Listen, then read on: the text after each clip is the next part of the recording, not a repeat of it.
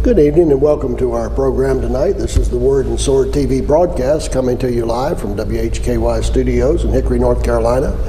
And uh, if you would like to call in during this program, you're most welcome to do that. We want to thank you for taking the time to tune in tonight and study the Bible with us. We appreciate that so much.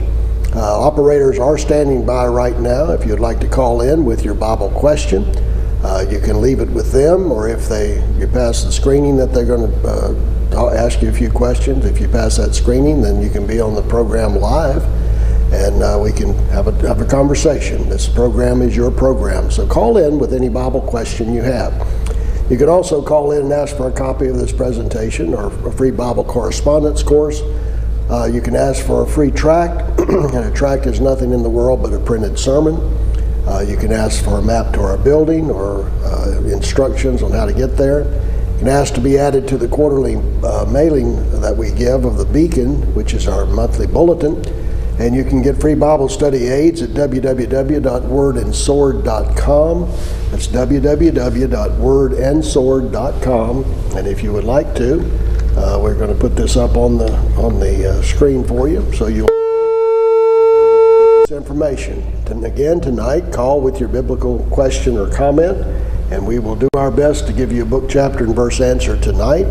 If we cannot do that sufficiently, or if we uh, you still have some questions, then we will uh, take your name and we will send you material that will answer your question thoroughly. The number is 828 485 5555. That's 828 485 5555, and that will be scrolling uh, throughout the throughout throughout our broadcast tonight. so, if you do have um, an opportunity to call, please do. Whether you agree or don't agree, uh, nothing wrong with just calling in and letting us know that you appreciate the program. That's okay too. Uh, you can like us on Facebook by going to www.facebook.com slash word and sword and uh, post there if you would like a, a, question answered, or you can go to www.facebook.com slash Newton with a capital N, North Carolina, both both capitalized, and then Church of Christ. And uh, you can also follow us on Twitter at Word and Sword and post there if you have a question. But uh, again, please make this program your program and call in tonight if you have any Bible questions. Call tonight at 828 485 5555. The question of salvation is the most important question in the world, friends. What must I do to be saved? And what does the Bible say that a person has to do to be saved? Does a person actually have to do anything? We're going to talk about that tonight on our program. But the chart you're watching and looking at right now uh, is God's plan for salvation, how a person is saved. Now, certainly, we know from the book of Ephesians that, that the Lord, Ephesians 2 8 and 9, that we are saved by grace through faith. Now, notice that's a dual obligation. God's part is grace, our part is faith. And we'll talk about that in just a few minutes. But God has provided a plan for us through His grace. And we must be obedient to His plan. His plan involves us hearing His Word. Romans 10 17, faith comes by hearing, and hearing by the Word of God. He that keeps see, hears these sayings of mine and does them, uh, he is one that God is pleased with. He's like a man builds his foundation on rock. Now we must believe. In John 8 24, except you believe that I am He, you'll die in your sins. Romans 10, verse 10, we know that, um, that, that we must believe in order to be saved. Galatians 3, verse 26, we know that we're all the children of God through faith in Christ Jesus. In Hebrews 11, 6, without faith, it's impossible to please God. So we must have faith that is essential, and faith is a work in and of itself. Also, we must repent of our sins, and repentance involves a change or a turning in our life, changing from one behavior to another. Luke 13 and verse 3, uh, Acts 2 and verse 38, and Acts 17 verse 30. Times of these of ignorance God used to wink at, but now commands men, all men everywhere to come to repentance. So that's a command. Uh, and also, we must confess Christ with our mouth. I don't know of anybody in the religious world that would say this doesn't have to be done. Uh, but again, to those that say it's all by grace, you wouldn't have to confess if it's all by grace. So we'll talk about that in just a few minutes also. so we must confess with our mouth. In Acts 8, verse 30, 27 through 39, with the Ethiopian eunuch, he wanted to be baptized, and uh, he was told by Philip, if you believe, you can. He said, Well, I believe Jesus Christ is the Son of God. And that was after having Christ preached to him. So after he confessed with his mouth, he was baptized in water for the remission of his sins. Also, Mark 16, verse 16, Jesus says, He that believes and is baptized shall be saved. In Acts 2.38, And in brethren, what shall we do?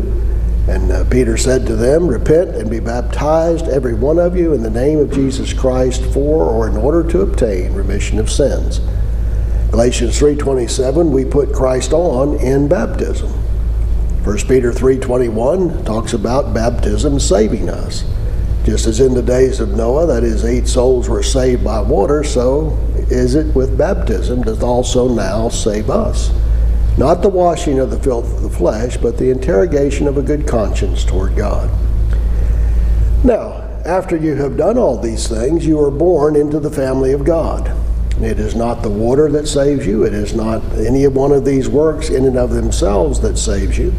It is being obedient to what God has told you to do, to, to all that what God has told you to do. These are the works of God, friends. And you can't be saved without doing the works of God.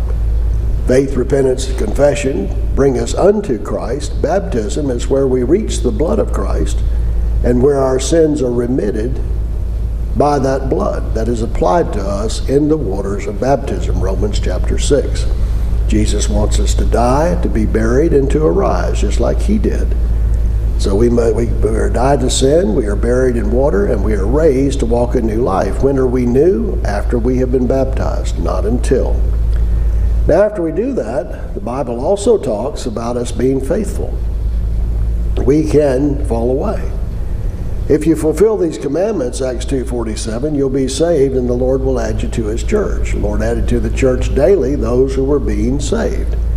Now to everyone who says that you that the church has nothing to do with it, we bring you to Acts chapter 2 and verse 47.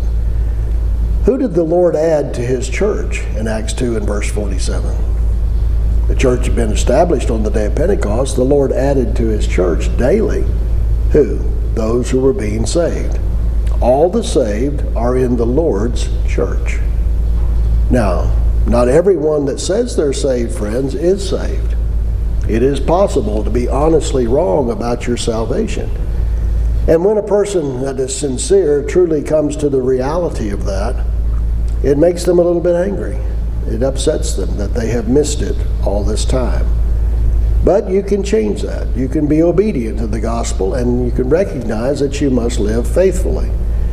Now, in Revelation chapter 2 and verse 10, it says, Be thou faithful unto death, and thou shalt receive the crown of life.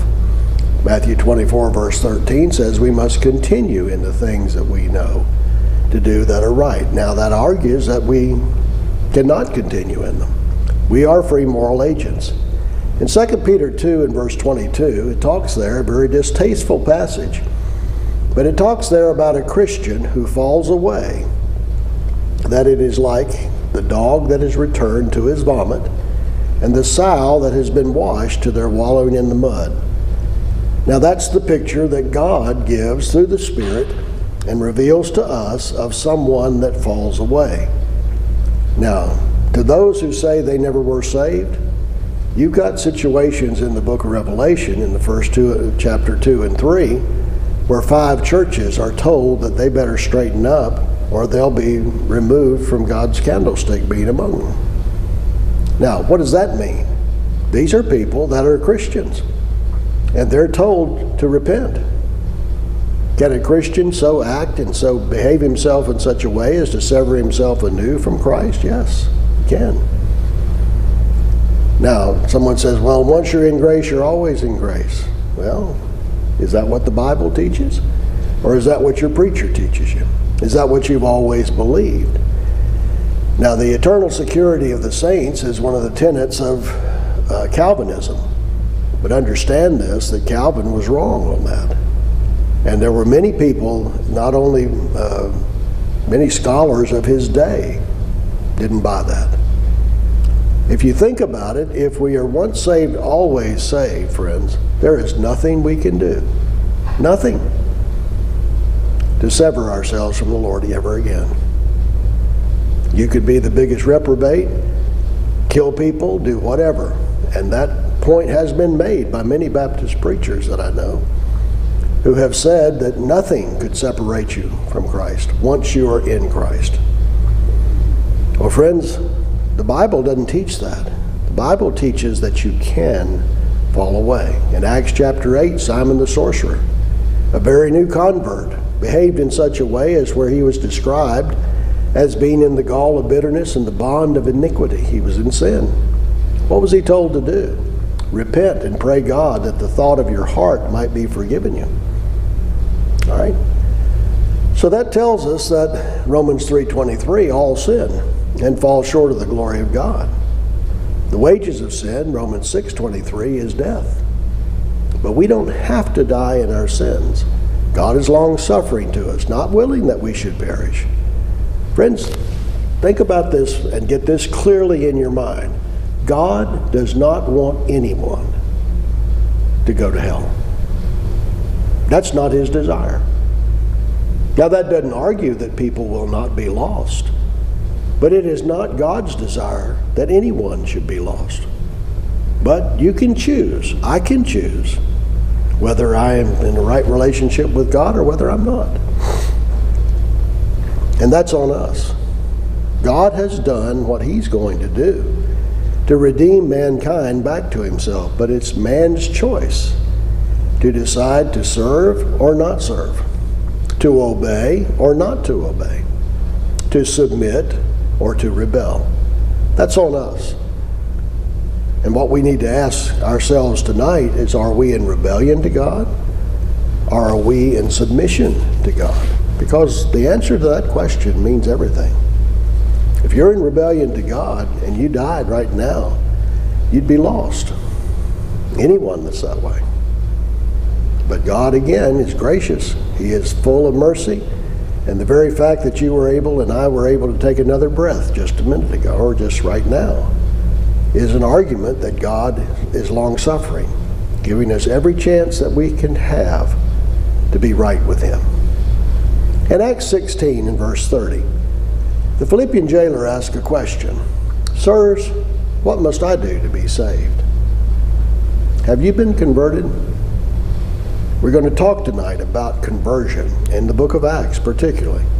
Two instances, one in the book, one in Acts chapter 2, and one in, uh, on down in Acts chapter 3 and 4 of the Samaritans. Samaritans. So if you would, get your Bibles, be ready to turn with us. Go ahead and, and look at those two passages if you would like. And we'll be talking about that. But first of all, we want to talk to you about conversion. We talked a little bit and kind of a kind of a overview of what we talked about last week about conversions, and one is that in Acts chapter 2, verses 1 through 47, we find the first example of those people that were under the new law being obedient to Christ. The church was established on the day of Pentecost in the town of Jerusalem about the year 33 AD. Any other congregation that's out there today calling themselves the Lord's church that is past that date is not the Lord's true church. Well, what is a convert? A person who is converted or one who has brought over, been brought over from one belief or party to another. To bring about a religious conversion, to alter, to change from one form to another these are all definitions, English definitions, of the word convert or converted. Matthew 18, verses 3 and 4, Jesus said, Assuredly I say to you, unless you are converted and become as a little child, you will by no means enter the kingdom of heaven. Now, stop right there, if you will, and let's go and look at that on the, on the charts, if you can. What he says there is that it is essential for us to be converted and become as what? As a little child. Not become a little child, but become as a little child. Let's come back to the charts, please.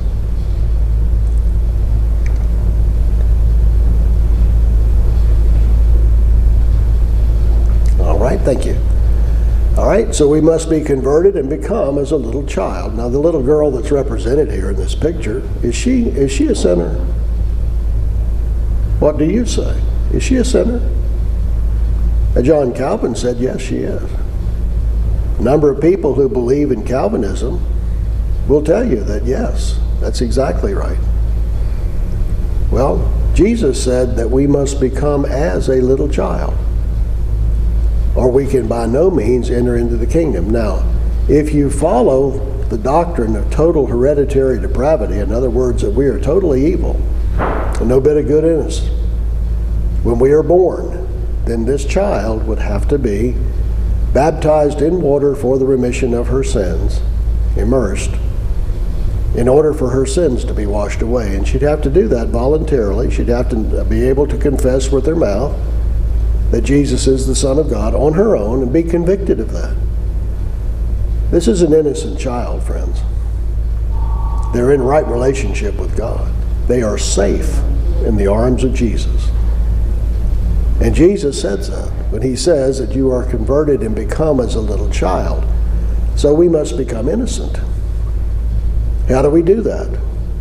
Well, we submit to Jesus Christ in baptism. Whoever humbles himself as this little child is the greatest in the kingdom of heaven. All right, so you see the parallels there? You see how some of the doctrines that are taught today in different churches just really don't fall into place with what Jesus taught? Jesus taught that children are safe, friends. But people in denominations, perhaps the denomination that you that you are involved in, Ask your preacher and ask him if do we believe that children are lost and must be uh, blessed or saved in some way? Do we baptize babies? Is that something we must do? Well, in Acts chapter 3 and verse 19, notice here the word convert is used, and it's the word repent. Repent, therefore. Repentance involves a turning from something and be converted. So the process of repentance includes conversion, that your sins may be blotted out, so that times of refreshing may come from the presence of the Lord. So repent and be converted. Right? Have an intention to turn your life around and be converted, be changed. Not be recycled into the same old person you've always been, but to change. Okay? To change. James 5, verse 19 and 20. If anyone among you wanders from the truth, and someone turns him back, let him know that he who turns a sinner from the error of his way saves a soul from death and covers a multitude of sins. All right? Some have someone would wander from the truth. If anyone among you, you see that? Going back to that idea we talked about before that you can't fall away. James talks about those who might wander away from the truth. And then we must turn them back. And when we do that, we turn a sinner. So the one who wanders away is among the brethren, he's a brother, and he is a sinner. He must be turned back from the error of his way. And when someone brings him to that point, he has helped him to be in right relationship with God, and He has prevented him from committing a multitude of sins. Now, converting a person who is a convert in Luke chapter 15, verse 11 through 24, we see the process of conversion. The prodigal son is talked about there, very moving passage. But notice the prodigal son did not just merely have a change in action, he had a change of heart, didn't he? He didn't change his knowledge. He did have a different knowledge, but he didn't change it uh, just in knowledge or just in conviction. He was convicted he was doing the wrong thing. But he wasn't right with his father yet, was he? Although he had knowledge of his sin. It's not just a change in allegiance, because he was ready to be a servant of his father.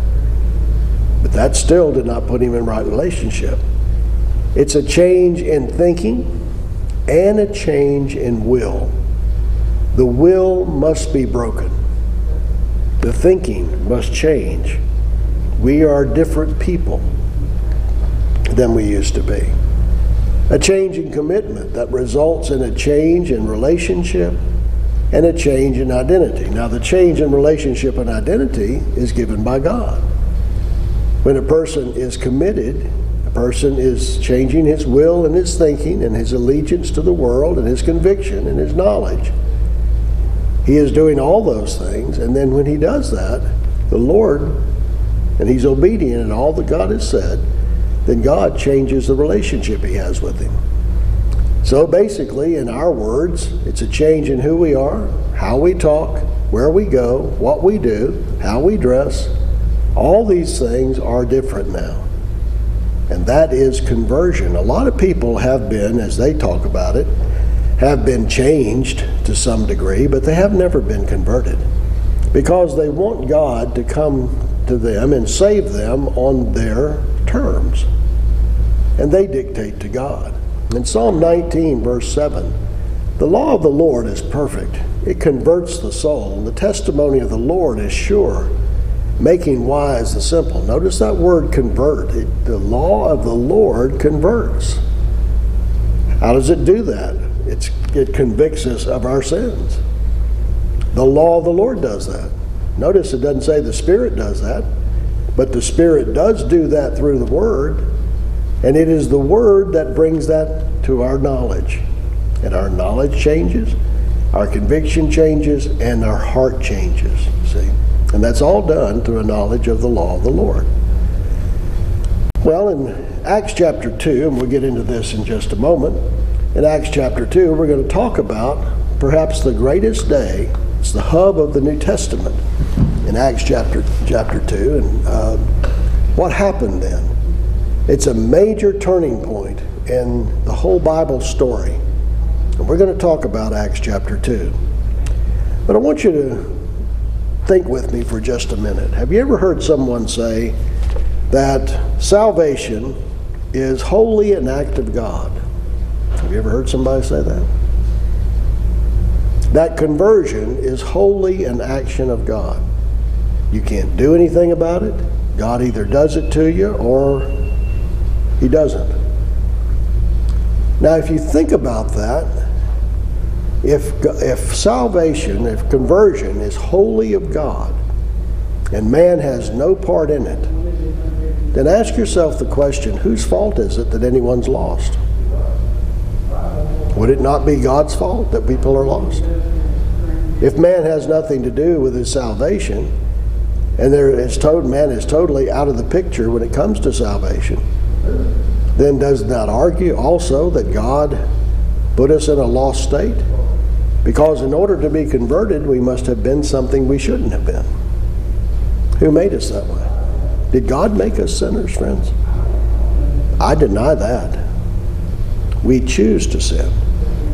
Each one of us sins, James chapter 1, when we are drawn away by our own lust and enticed, and that brings forth sin, and sin separates us from God. All right? So we choose that. Who's responsible for my sins? Me. Who's responsible for your sins? You. God did not make you to be totally depraved and wholly evil. He made you with choice. You can determine what you want to be. Now, there's another extreme that you hear also, and that is that man does it all. That it's all on man to be saved. Well, that's not true either. That's, that's certainly not the biblical thing. In, Je- in Jeremiah 10 23, it says there that it is not in man that walks to direct his own steps. So if it's not all on man and it is not all on God, then what does the Bible teach? Well, in John 3:16, we must believe what God has done for us. He loved the world so much that he gave his son. We must believe that. In Ephesians 2 8 and 9, we must believe that we're saved by grace through faith. And also in Matthew 13 and verse 15, man turns to the Lord. God does the saving. And so, what does that mean? God heals, man turns. So, there is the Bible pattern. Man must change. And when man changes, God will heal. So, there's your biblical theology about conversion. Man and God. God, in His plan, in His manifold wisdom, said that man will be given a plan. He can submit to it. He is broken. Man, in his sins, is broken. And he can come back to me. Conversion is a threefold change the heart has to be changed, the life has to be changed, and the state of relationship has to be changed. So you see those things? The heart has to be changed. In Acts 15 and verse 9, it says there, purifying your hearts by faith. Now, how is my heart purified? Through faith. Well, faith comes by hearing something, hearing God's Word. So I hear God's Word and I am cleansed, I can be cleansed by the hearing of that Word. My intellect is changed by the hearing. My understanding is changed through the hearing. And then guess what? My emotions have a lot to do and have a part in my conversion. I am hurt that I have been separated from God. I'm hurt by my sins. And I don't want to stay that way. I don't want to offend God. I want to be pleasing to Him. And so I say, What must I do? This is the question that was asked in Acts 2, in Acts 3, in Acts 4, and so on through the book of Acts. What must we do? We have to do something. We can't, we're helpless by ourselves. But what do we need to do? God tells us what to do, and what do we do? I don't want to do that. I don't like that, Lord. Just like a child, when offered, I'm hungry, and you give them something good to eat, say, I don't want that. It's much like the way we are with God. God tells us, have faith, repent of your sins, confess Christ, and be baptized in water for the remission of your sins, and you'll be right relationship with me. And we say, I don't like that recipe. Well, how insolent, how rude, how sassy we are to God when He tells us what to do. And we balk at it, or we argue with God as if maybe God needs some help understanding what it takes to save me. He made me, friends, made you too.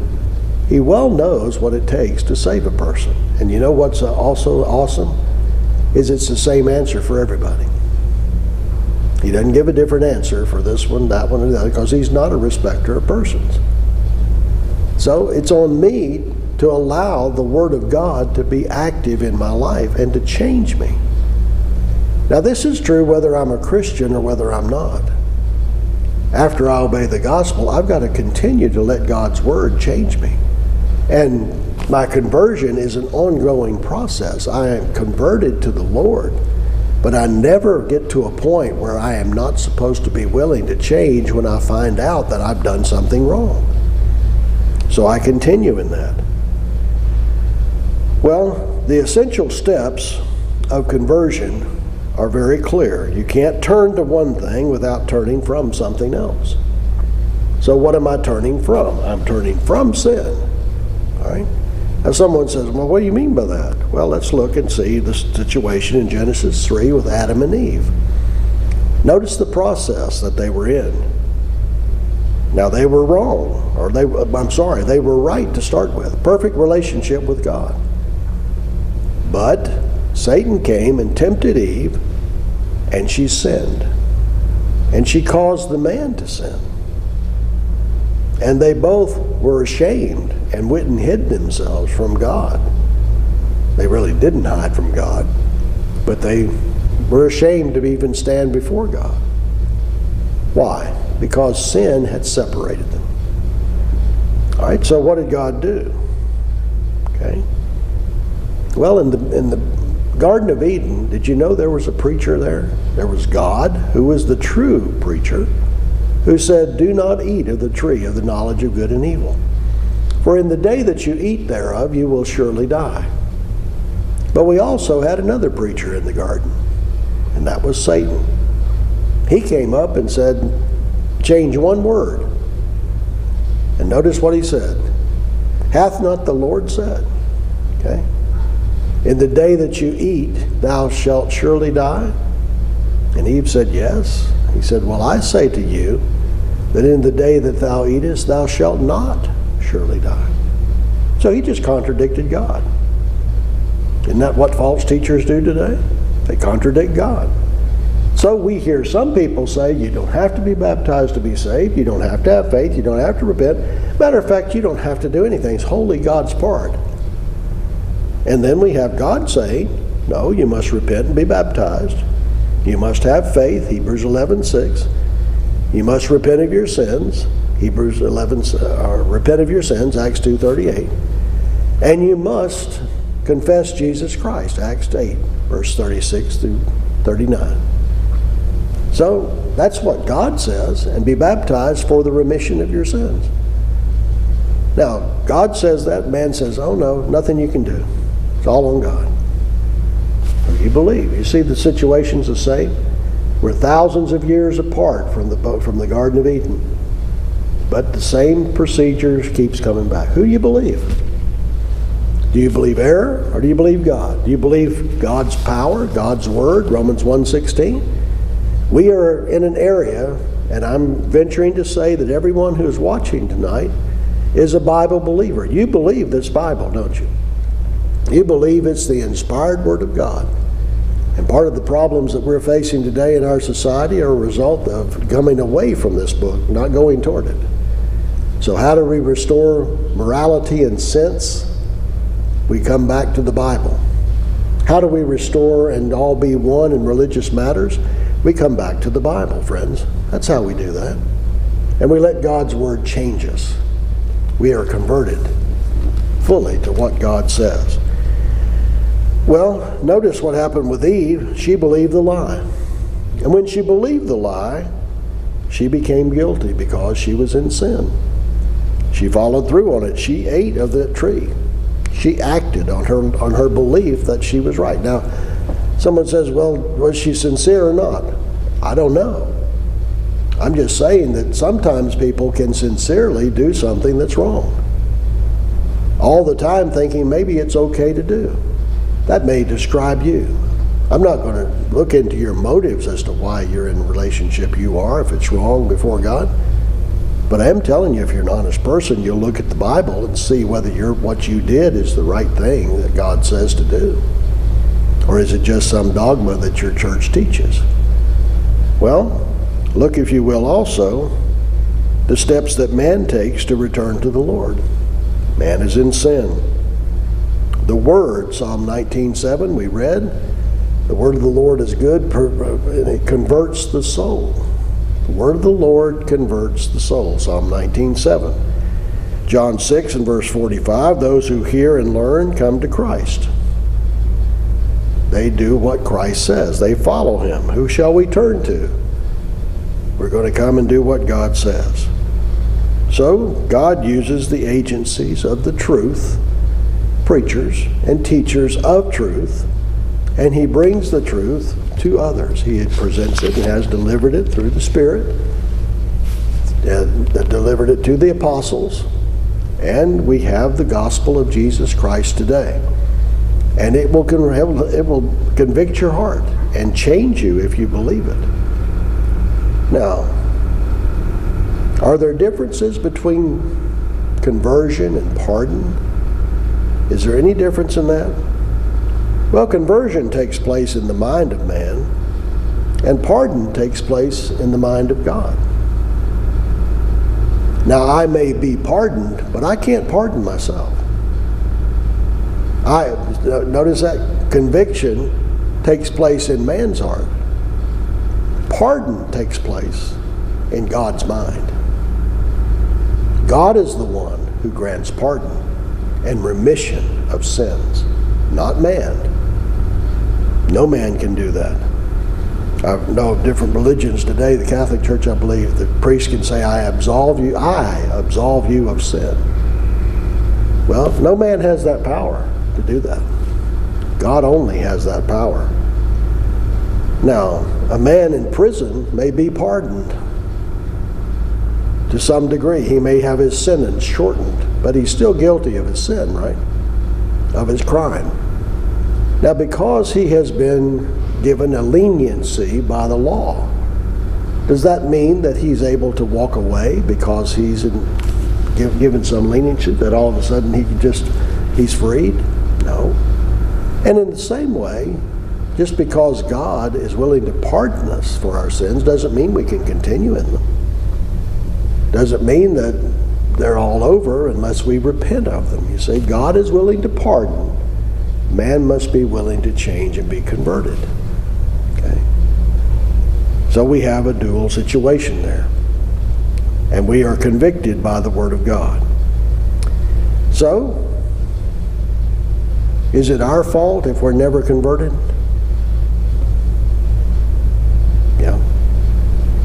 Is it God's fault if we're never converted? Maybe God hasn't been clear. Maybe that's it. Maybe the Bible is just an obscure book that no one can understand, and God gave us and delivered us a book that He knows we can't understand, and so God is flawed, so we are lost because of God. No. We're lost because of us. Anyone that is going to be lost is lost on their own because God has given ample proof and ample guidance on what to do. Much like going to the doctor. Have you ever argued with your doctor? I can almost hear some of you saying, yeah.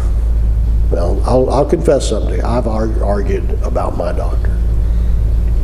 The doctor has gone to school. He has all types of credentials. And many people today think they can outdo the doctor.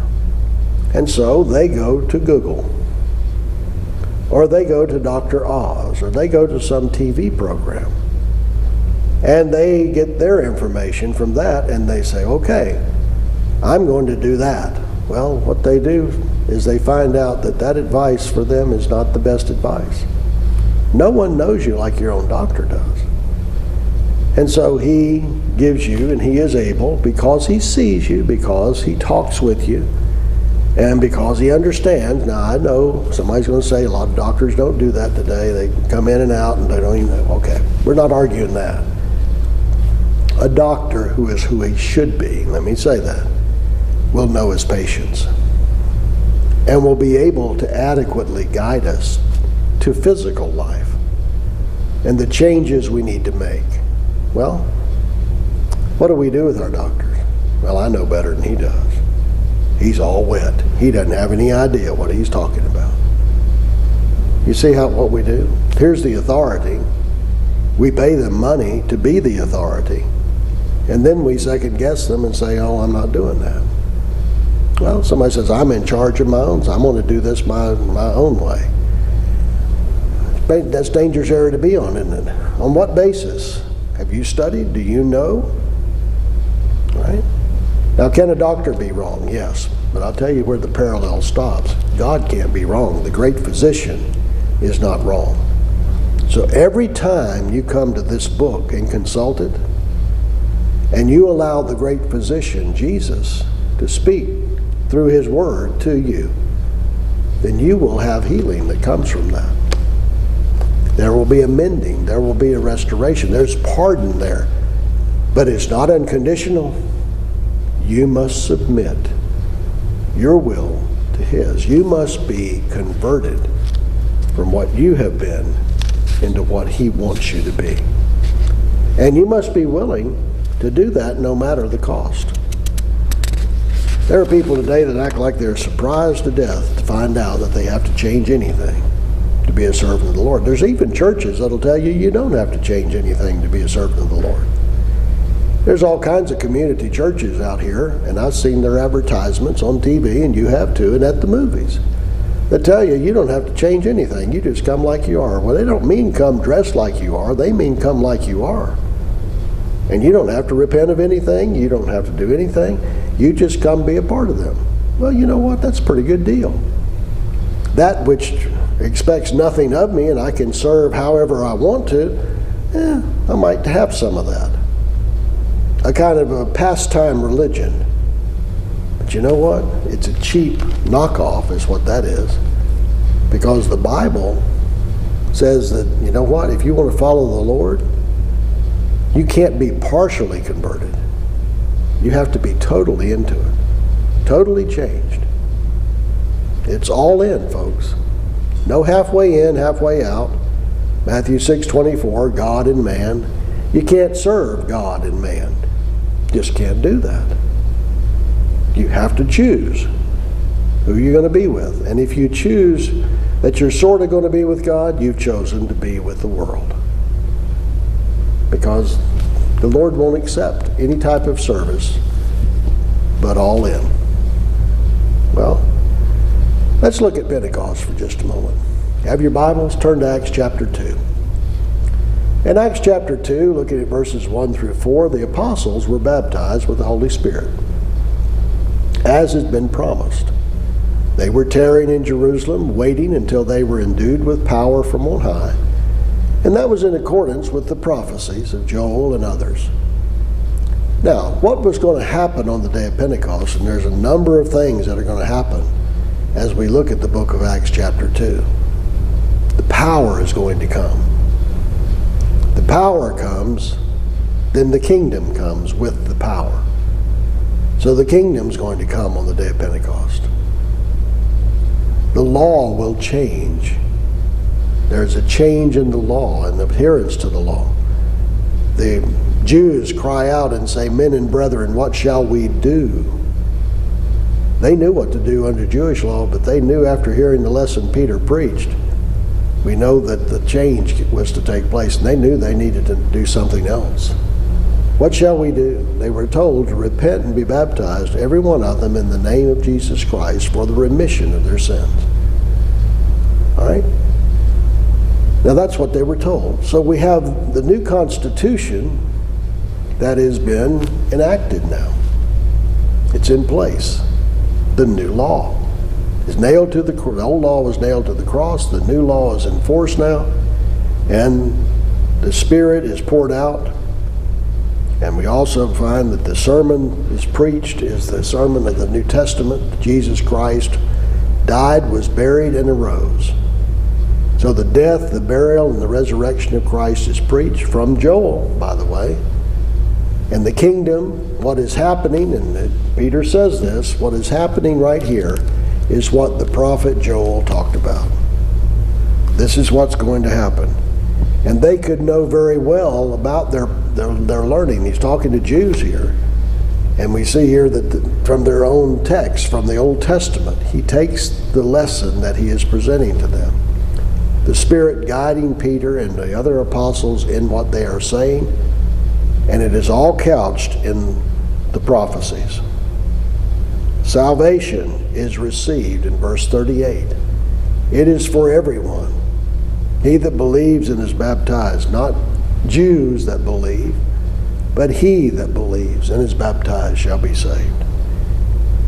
And again, it's a required response to what God has given. God in His grace has thrown has, has offered salvation to all men. That's a great message to the Jew because the Jew had to remember every year his sins from the year before and the year before and the year before. Now salvation is accomplished. Jesus, the Messiah, who is talked about as the seed promise in Genesis chapter 12, he is here. He has come. He has died. He has been buried. And he has risen. And when he, he is now seated at the right hand of the throne of God, and he is ruling and reigning right now over his kingdom. Now, friends, let me ask you something. Do you believe Jesus Christ has a kingdom right now that he's ruling over? Now, if you say, yes, I believe that, then let me ask you something. Why do you believe, if you, if you do, you may not believe this, but why would anyone believe that the kingdom is yet to come? And that it's physical? that it'll be on this earth. That it's not spiritual, as prophesied by Daniel in Daniel 2.44. So why would anybody believe the premillennial ideas? If Jesus is reigning over his kingdom right now. Do you serve a king? Or do you serve someone who thinks he's a king, but really isn't? That makes all the difference in the world, doesn't it, about our belief? Someone says, well, you know, you don't have to worry about this rapture and Armageddon and tribulation. Uh, yes, you do. Yes, you do. Because it's false doctrine. It basically says that Jesus Christ came one time, but he failed to set up his kingdom. So he's going to come back later and set up his kingdom. Well, if he failed once, what makes us think he won't fail again? We're serving a flawed Christ. We're serving a flawed God. If he was intending to pull something off and he couldn't do it, so he's not almighty. You see how that doctrine hits at the heart of the nature of God? So, what's wrong with false teaching? It impugns God. And that should anger us, folks, in the right way. It should make us uh, get lose it, but it should anger us that someone is out there teaching such subtle doctrines that undermine the core of our faith. If God is not almighty and all powerful, and if God cannot pull off what he has planned to pull off, then I'm not serving him. I'm not serving a God who is flawed, nor should you. But God has. The good news is that God has and does pull off everything that He has planned. He works all things according to His purposes and according to His will. And He has revealed to man our role in this world. We know why we're here, we know where we're going, we know all the things that are necessary to take us to eternal life with God. So we know all the things necessary, and God has revealed to us His will. A map to heaven. This is how you get there. Now, it's through His grace that He's delivered that map. It's through His willingness to pardon us from our sins that He even gave us this map, His love for us. So we see love, grace, and mercy, God's part, pardon, God's part, obedience, submission, conversion, conviction, man's part. You see, all of us have a role, don't we? Now, do you need do you have to change? No, that's one of the wonderful things about God's God's arrangement and how he made us. Did you know we're the only part of God's creation that can refuse to do what he says? He made us that way. Someone says, Well, why did he make me that way? Because he wants us to bring him glory in submitting and willingly saying, I want to serve you. We are the highest form of creation, friends. We didn't evolve from some type of lower life form. God made us different. And he wants us to glorify and praise him on our own. That because we choose to do that. The whole idea of love is that we choose to serve the Lord. He loves us, we love him. Right? Now, in Acts 2, verses 5 through 13, we see the apostles were baptized with the Holy Spirit in verses 1 through 4 as promised. And there was a promise, by the way. This baptism of the Holy Spirit is a promise made to the apostles and also to the household of Cornelius. And that's it, it never was a command. So if you're waiting to be baptized with the Holy Spirit like the apostles were in the household of Cornelius, it's not going to happen because it was only given to those two, two groups.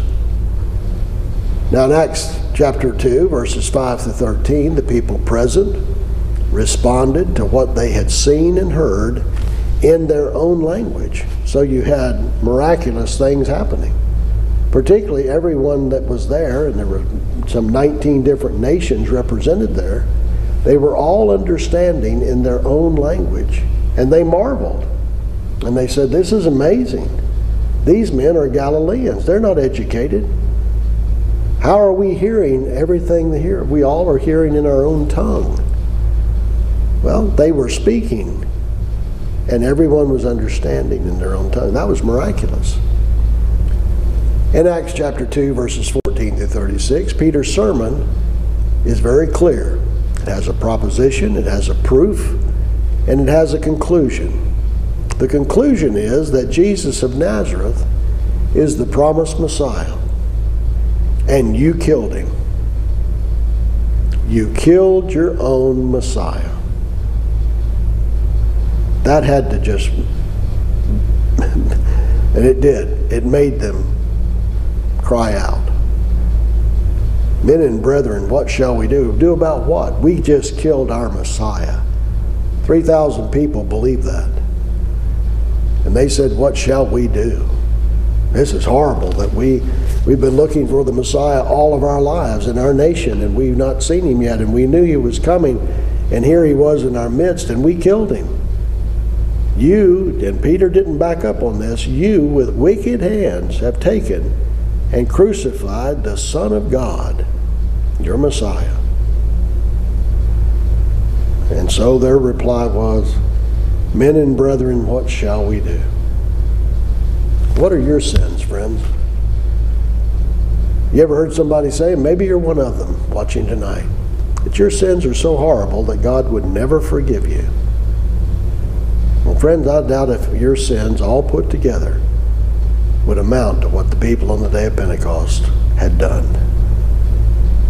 They crucified God. Jesus Christ was God in the flesh, the Messiah, the Emmanuel, the Prince of Peace. And they put him on a cross and they killed him. You haven't done that, have you?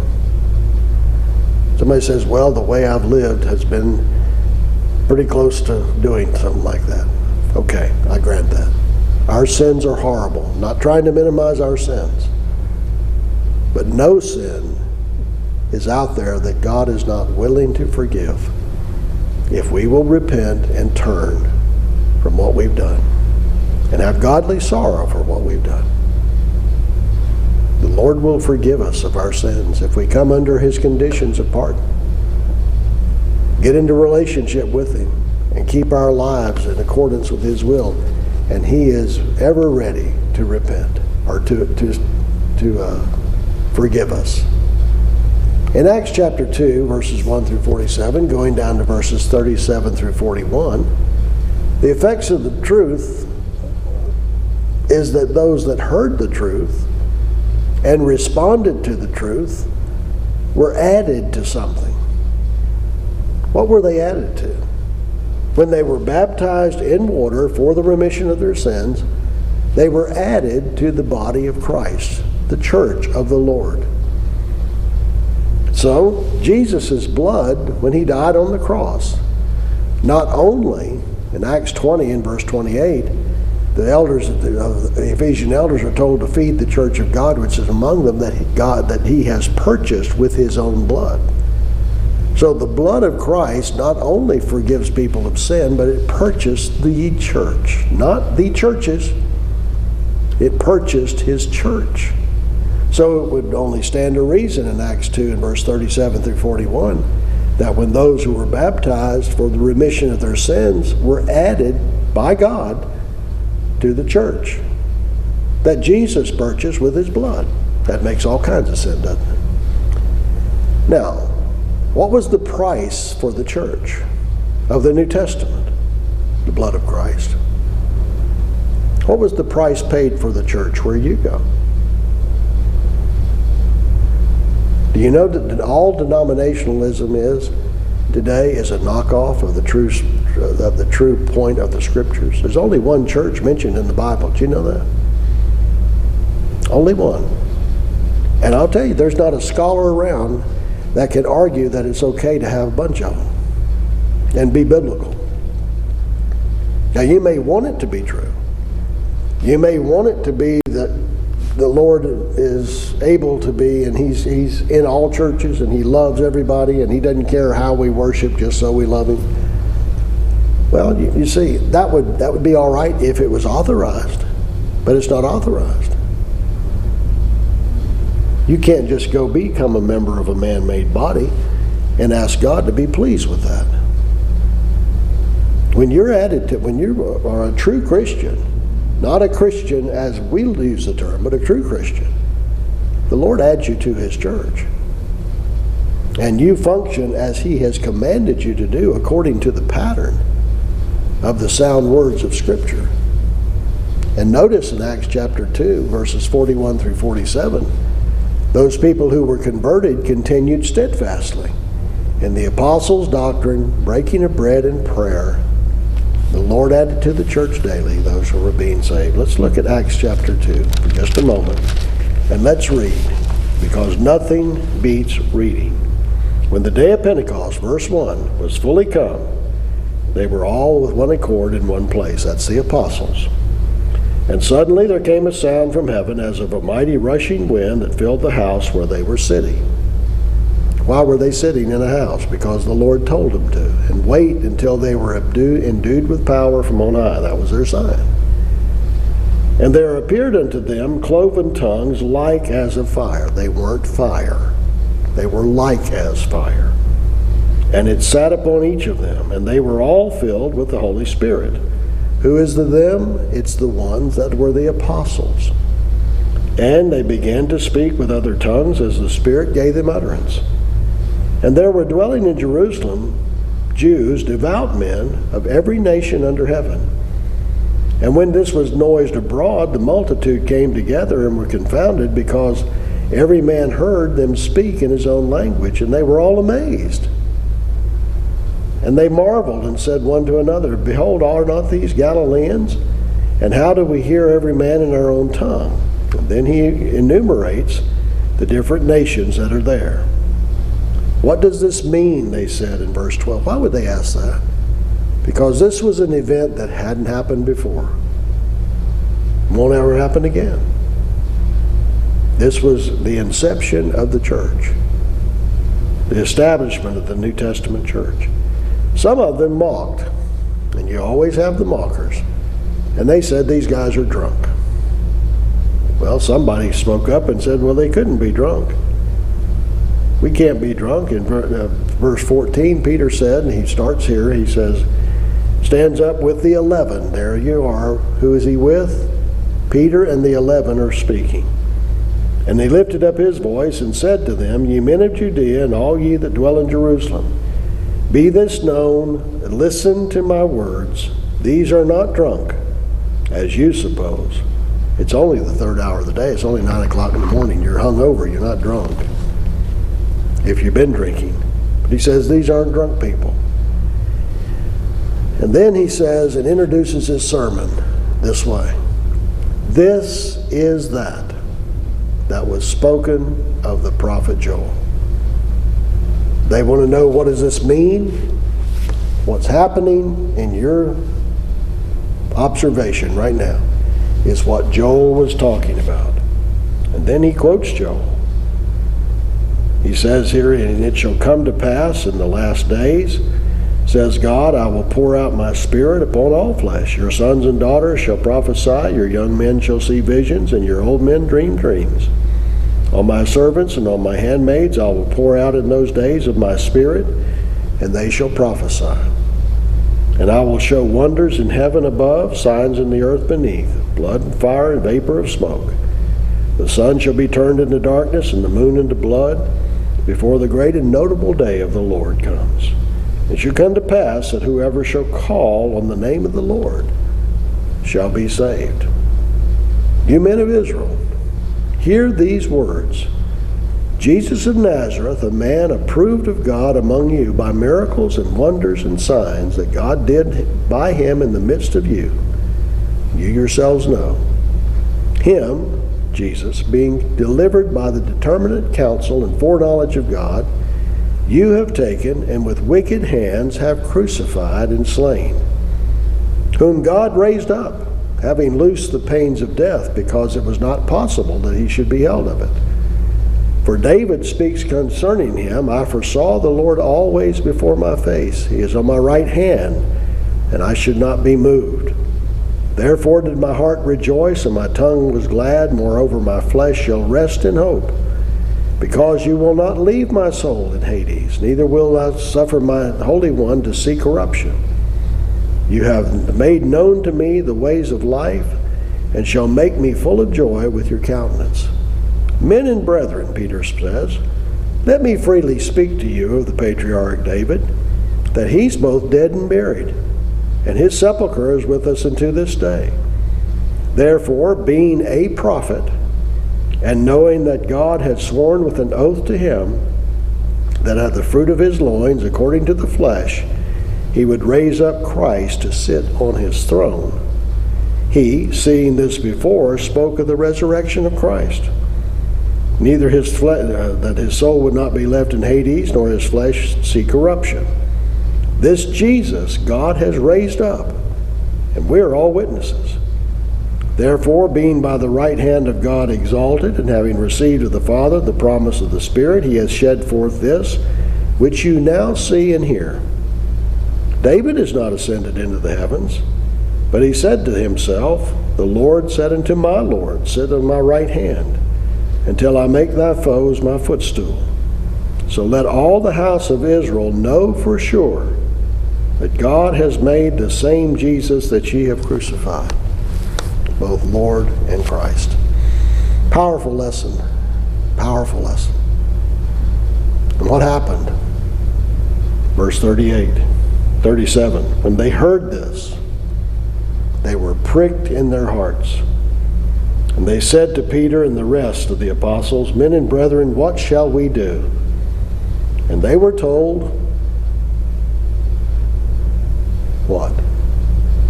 Well, you don't have to do anything. It's all on Jesus. It's all on God. There's nothing you can do. That's not what it says, is it? They were told by Peter, Repent and be baptized, every one of you, in the name of Jesus Christ, for the remission of your sins. Ye shall receive the gift of the Holy Spirit.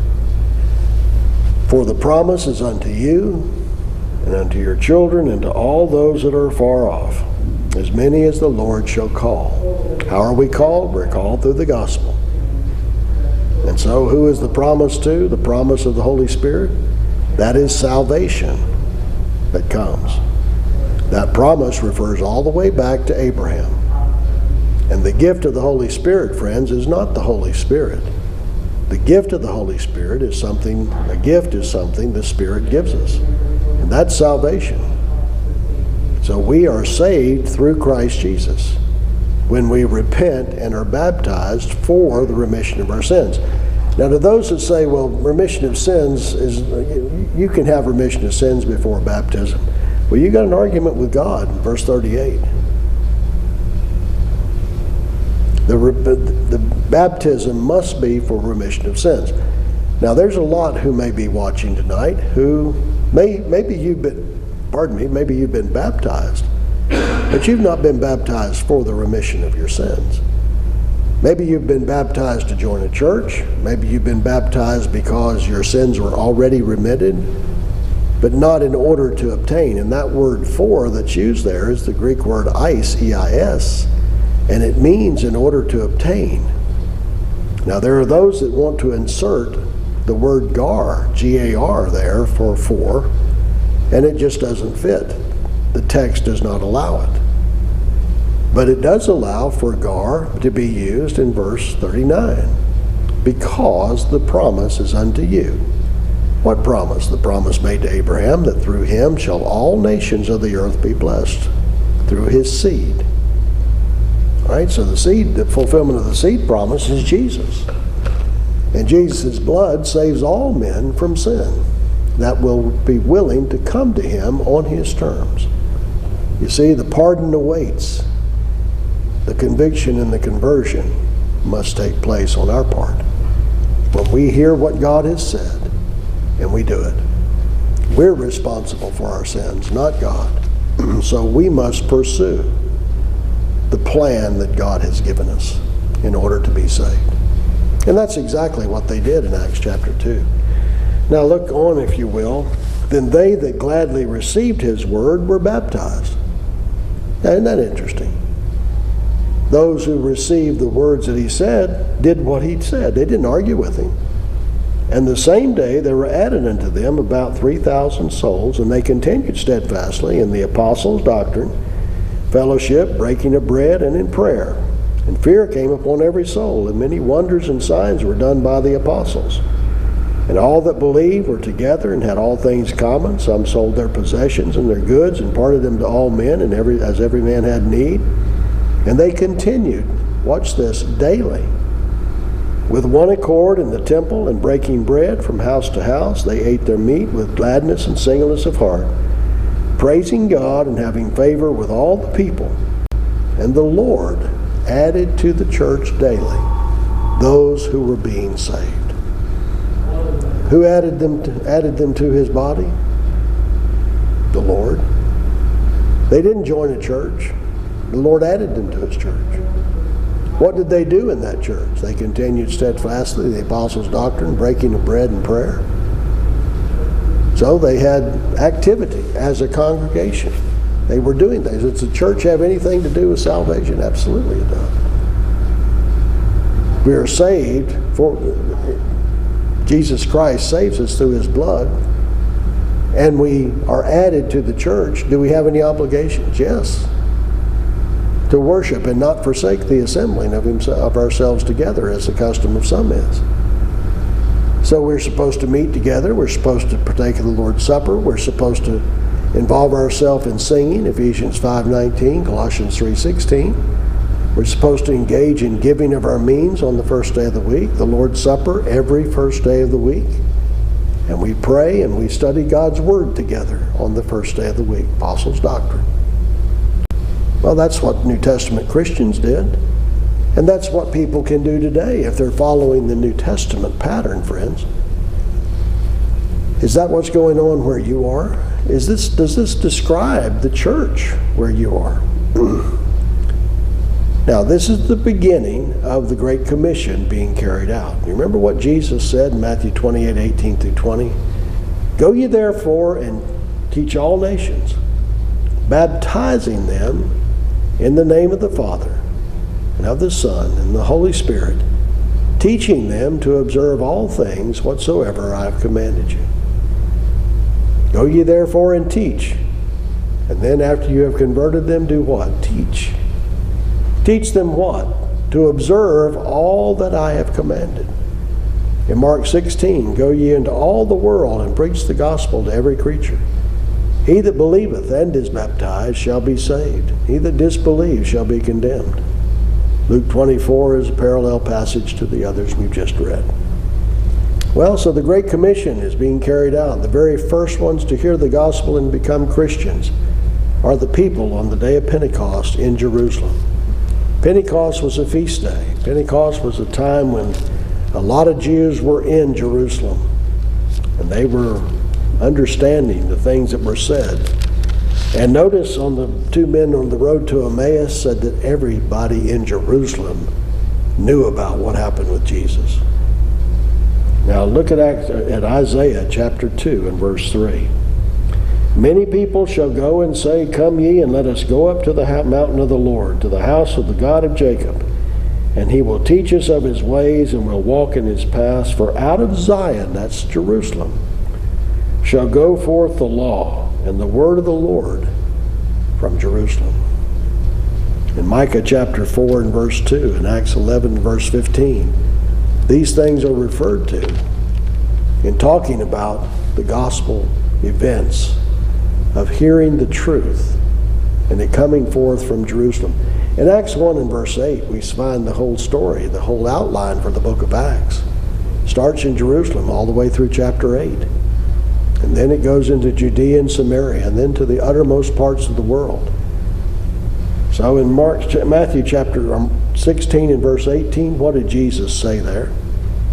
Upon this rock, the rock that he was the confession that he was the Christ, the Son of the living God, he would build his church.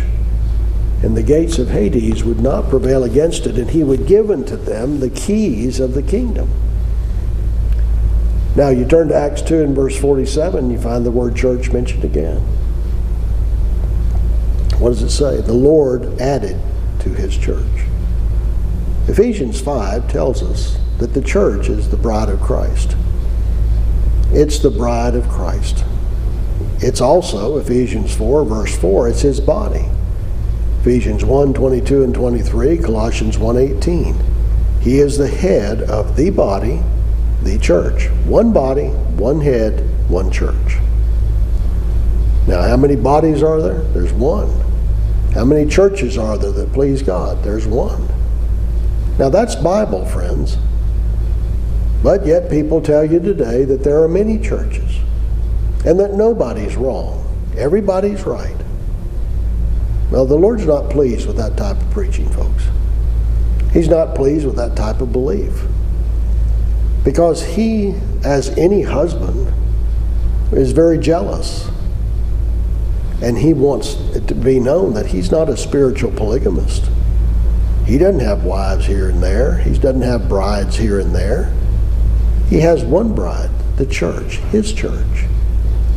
And he's not out being a spiritual fornicator and having this church okay and that church okay and oh yeah there's the true one but you know all these others are okay anyway also you see nobody believes that jesus is that way but the the end result of the belief that many practice today that jesus has people in all churches well what that argues is that jesus has spiritual children outside of his relationship with his bride.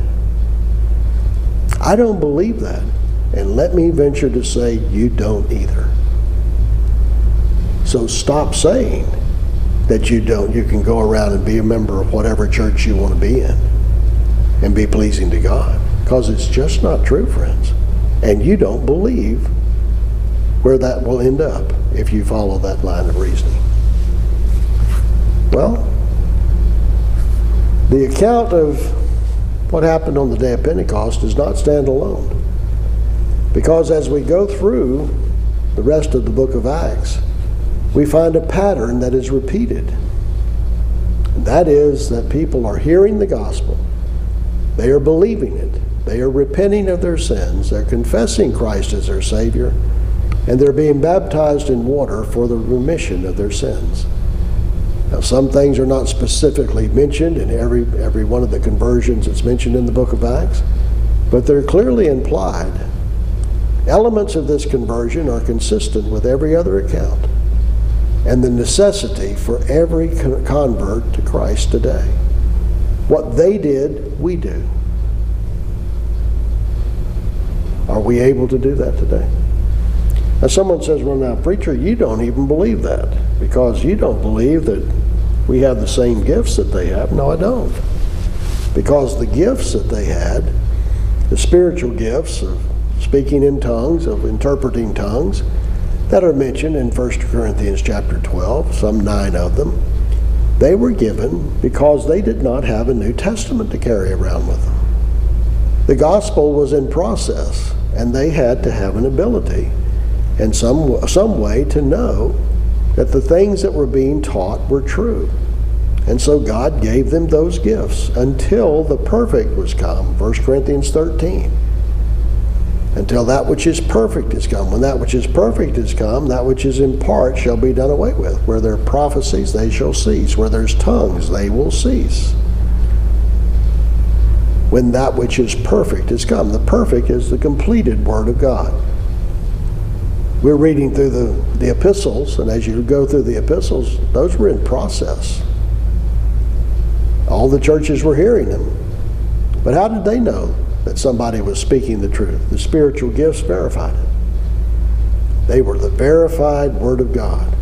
They weren't just the words of men, they were the words of the Lord and given for men today. And we have the written Word. Now, let me ask you something. Which which should you rather have, the spiritual gifts that verified a word that you had not even seen or understood yet? Or the whole story? I sure am glad I live on this side. That we have the whole story here. The mystery revealed to us, all completed, all written down for us. Now, the apostles were equipped and confirmed to be the teachers that they were. Holy Spirit baptism is limited to the apostles and to the ones in the household of Cornelius. Again, all of this confirmed the authenticity of the message that was presented. And these things, Mark chapter 16 and verse 20, these things, these gifts that they had, would follow them. For what purpose? So that they might establish that what they were saying was true. Miracles never converted anybody. They verified the, ta- the, the words that people were speaking. That's what they did. Now, in verses 5 through 13, the initial response on the day of Pentecost was they wondered. They wondered. And honestly, there's a lot of people today, when they observe that the pattern of the New Testament is un- has, has already unfolded, they wonder. And it makes them hungry to know more. And they learn more. And as they learn more, what do they do? Just like on Pentecost. What shall we do? I didn't know this. And maybe you're that way tonight. Maybe we're talking about some things that you had not ever thought about. And you want to know more. If that's the case, you let us know. Call us now. We will come study the Bible with you. And we'll make sure that you know the things of God. Now, the choice to obey them or not is up to you. That's your free will to let the Word of God touch your heart. Now, we will not try to manufacture some emotion with you. The Word of God will do that on its own. It will convict your heart, it'll change your life. But you've got to let the Word speak to you. Not in some better felt than told experience, but logically read it and say, okay, this is, this is amazing. I need to do what this says. Devout Jews, notice there were 3,000 that obeyed, but there were many others who did not. Devout Jews from every nation under heaven were there, including proselytes, verses 5 through 11. So there was a big crowd of them gathered together. And they were from all over the place. They were from Parthia, from Elam, from Mesopotamia, from Arabia, from Alexandria, Egypt, from Libya. They were from everywhere, from Athens, from Crete, from Asia, from Pontus, from Cappadocia, from many places, from Media. All these areas where people had come. The Jews from everywhere had come to Jerusalem. That was a part of the old law. Had to come to Jerusalem three times a year. And they were gathered there together, and that's when the Lord chose, in the fullness of time, to bring forth his church. So there they were. They heard the apostles speaking in their own language. Some wondered and were curious about it. Maybe they walked off and didn't do anything else. Others mocked. But there was the sincere ones who listened and said, We want to know about this. Okay? Jesus Christ, the conclusion here is the anointed. He is the Christ. He's the Savior. He's the Lord and King. He's reigning on his throne now. He has a kingdom. He has a church. And there's only one of them. Now that's, that's what you find out from Acts 2. Now you've got to read something else to find out something different from that. To find the different churches that are around today, you're going to have to find another book than the Bible to find them. And you you can Google right now, you can Google the church that you belong to, and it will tell you, Google will tell you what year it started. And every one of them is not the year 33 AD. so, what that argues is every one of them is a counterfeit. So, how are we going to find the church of the New Testament? We've got to go back to Jerusalem, where it started. We've got to go back to the times of Joel and see what was going to be taking place and see what was taking place because the church was very obviously begun in a way that was very visible. The crucifixion of Christ was according to the foreknowledge of God. The miracles of Christ were according to God's knowledge. God raising Jesus up from the dead was no accident. It agrees with prophecy, verse 25 through 29 of Acts 2. And also to sit on David's throne. Jesus sits on David's throne and was doing this so then and is doing so now. He's reigning over his kingdom, friends. His kingdom is the church. He has one of them. He's the king over his kingdom. His subjects are not denominations, his subjects are individual Christians wherever they may be. The Holy Spirit verified the testimony. It was confirmed by the Old Testament prophets. So all that is spoken here is confirmed Their hearts were pricked by the evidence that was there. And remember, these were not ignorant Jews, these were devout Jews from everywhere. And when they heard the things that were being said, 3,000 of those devout Jews, they, they were not ignorant. They were pricked in their hearts by the evidence presented in this magnificent sermon recorded. Well, Peter instructs them as to what they must do. Repent. Let every one of you be baptized in the name of Jesus Christ for the remission of your sins. Friends, tonight, you may be carrying a heavy burden of sin in your life. And if you've never been baptized in water for the remission of your sins, that load can be lifted by the precious blood of your Savior. He's willing to change you, He's willing to turn you through His Word to the right paths and to grant you remission of your sins, unburden you from those sins that are just tearing you up. But you must be obedient. You must count the cost. You must be all in and willing to serve Him according to His, his, his uh, precepts.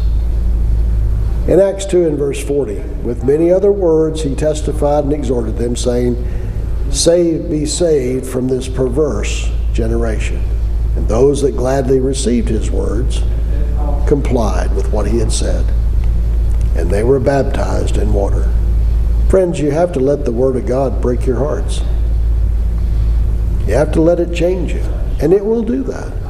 Again, not by you having some experience where the Lord's whispering in your ear. Now, on this Holy Spirit concept here that some people want to want to spend time on today, let me just run one thing by you to think to, as far as what happened. The Holy Spirit fell on the apostles. You hear a lot of people today saying, "I'm waiting for the Holy Spirit to fall on us, I'll fall on me." Well, it fell on the speaker. Didn't fall on the person being converted. But you have people giving their experiences, and the Holy Spirit fell on me, and I just couldn't do anything any different. You know, no. If you look at the Bible pattern here, the Holy Spirit was falling on the speakers. And the individuals were hearing, were reasoning, and they were concluding. When they were told what to do, they did what, the, what was said. Now, in Acts 2, verse 42 through 47, they continued steadfastly the apostles' doctrine, fellowship, breaking of bread, and prayer. That's worship. That's New Testament worship. Notice it doesn't say here, and they got them a band together, and uh, three people played the horn, and the Blues Brothers were all reorganized, and they went up and they had a great big party, and they they blew it out uh, with with spiritual songs put to really rocking music. It doesn't say that, does it? There's dignity in what they did. There's reverence in what they did. There's sacredness in what they did. They worshiped the true God, and they did it in the way that He had commanded. They continued steadfastly in these things. It wasn't hit or miss. It wasn't, okay, I'm going to come this Sunday, but I'm not going to come next Sunday. Or I'm going to be here now, but not later. No, it wasn't any of that. There was steadfast commitment they didn't give God their word and then back up on it. They didn't lie to God. And folks, I'm telling you something. There's a lot of Christians that have lied to God. You committed to Him when you obeyed the gospel. And if you're a Christian, a New Testament Christian, and you're not holding fast to the pattern of sound words, and you're not keeping your commitment you made to God, you're just as lost as somebody out here that's never been baptized. Because you put your hand to the plow and then you turn back. You're not fit for the kingdom. The Lord said, Repent. Don't serve Him that way. That's like cheating on your wife. You cheated on God. You have committed spiritual fornication against the Lord. And you better straighten that up if you're a Christian. And you're going after what you want and serving yourself and serving the flesh and not the Lord better repent of it, or you're going to be lost. Respect for God's word was found in Mark 16, verse 20. We find there that as they went out and taught, that they relied on the things that God had given. It took great faith to be a preacher and a presenter of God's word during that time because their lives were threatened. It took great, great pressure to be a Christian and great commitment because many of them lost their lives for being a Christian. That's so totally foreign to us in the land we live in. But, friends, a time may be coming where we will be under threat of death if we worship God or this program will never able be able to get out. It'll be black marketed somewhere if somebody wants to hear it. It'll be underground. We have great freedoms here. Don't take them for granted. Listen to the things of God's Word. We have freedom of worship. Avail yourself of it and recognize that it could be taken away in a heartbeat. You look at the whole history of Rome, it's pretty quick what happened. In Acts 2, verse 44 through 46, all that believed were together. They had great love for one another. They were providing for one another's needs. And they were gladly serving God and sharing with one another. There was a happiness, there was a unity. Okay, we've waited for this all through the years, and now we are in the kingdom of the Lord. We're in right relationship with God. Our sins are forgiven. Oh my, this is wonderful. And they took care of one another. There's a family of God, there's a church, and they did not take it for granted. Well, they praised the Lord. Notice so many times when children of Israel crossed the Red Sea, what did they do? They stopped to praise God. Miriam led them in song. And the song of Miriam is recorded. They praised the Lord. They praised Him for all He had done. The great events happened, great victories took place. There was a praising of God for His goodness and for His grace of working with them and bringing them to where they are. These were people that were full of goodness. They were humble, serious, and devoted. Their life was appreciated, and they were saved. The Lord added to the church daily the saved. Can you imagine wishing all your life for a point where you could use that word? Not we're going to go sacrifice for sins that we'll have to do it again next year for. No, there's one high priest, there's one lamb, and the high priest has gone in once. The lamb has been offered once, the perfect lamb of God, Jesus. And now it is accomplished. We can be saved. Magnificent message, folks. You can be saved. No matter where you have been or what you've done, you can be saved. Now, would anybody else offer you something like that? The Lord says in Matthew 11, 28 through 30, Come unto me, all you who labor are heavy laden, and I'll give you rest. You take my yoke upon you, and you learn of me, because I'm meek and I'm lowly in heart, and you'll find rest for your soul. My yoke is easy, and my burden is light. You'll find rest for your soul, sweet rest. There are so many people that are so tormented, and maybe you're one who's watching tonight. You're so tormented with your own challenges and problems in life, brought about mainly by sin in your life. And you need relief from that. Jesus invites you, but you must come on His terms. Salvation is waiting. Will you come? With a broken heart and a humble spirit and a cup that is empty and say, Lord, fill it up. I need salvation. I will do what you have commanded. I'll not argue anymore. Now, I want to show you a quote from a man's manual. Most people will argue that they don't know this book exists. And it may be possible for you to be a Baptist and never have any idea that this book exists. I'm not going to say whether you know this book exists or doesn't. but it is revised every so often, and it has come down through the years. It's called the Hiscox Standard Baptist Manual. It is a creed. It is a formulation of the beliefs of the Baptist churches. Notice, if you will, I'm going to read this. I want you to read it because this comes right straight out of this book. The Hiscox Standard Baptist Manual reads this way It is most likely that in the apostolic age, when there was but one Lord, one faith, and one baptism, and no differing denominations existed, that the baptism of a convert by the very act constituted him a member of the church and at once endowed him with all the rights and privileges of full membership. In that sense, baptism was the door into the church. And then look at this last phrase. Now it is different.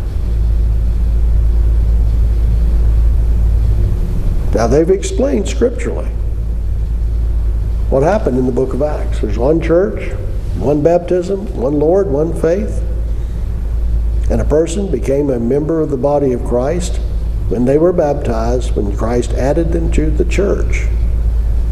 Now it's different. Now, friends, that's on page 22 of this book. Go look it up. We're not misquoting this. That's really serious to do that. But notice, now it is different. Who made it different? What made it different? How did this happen? Look in the examples of conversion in the book of Acts. Pentecost, we talked about.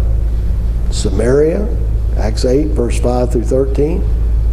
The Ethiopian eunuch, Saul, Cornelius, Lydia, the jailer, the Corinthians, the Ephesians. By the way, I correct myself on this. I said the Samaritans were uh, Samaritans were in Acts 3. They were not. That was the Jewish area, and that was still continuing in, in the Jewish areas of, of Jerusalem. In Acts chapter 8, it was Samaria and the uttermost parts of the world. And then notice what they did. These people believed, all of them did. They believed what? The words that were spoken. Now, Samaritans believed. The eunuch believed. Saul of Tarsus believed that who, who presented himself to him was Jesus Christ. Cornelius and his household believed. Lydia believed. The jailer believed. The Corinthians believed. And the Ephesians believed. They, uh, they repented in, on Pentecost. And we see in Samaria and, and the eunuch and all those, they, they changed. The jailer did repent, and it's recorded that he called for, he washed their stripes. He was sorry that he had beaten these men for the things that they, had, that they were innocent of. Well, notice the confession. They confess with their mouth in every instance here, although not stated particularly. They all did this. They confessed. The eunuch confessed, verse 37, that Jesus Christ was the Son of God. All right, what was preached to them? The death, burial, and resurrection of Christ, and the kingdom was talked about. They were all baptized, every last one of them, and it is recorded that they were baptized. Okay? So each one of them was baptized for the remission of their sins. Now let's turn to Acts 8. If you have your Bibles, Acts chapter 8, verses 1 through 25. So let's look at the Samaritans. Okay? These are the people of the region of Samaria.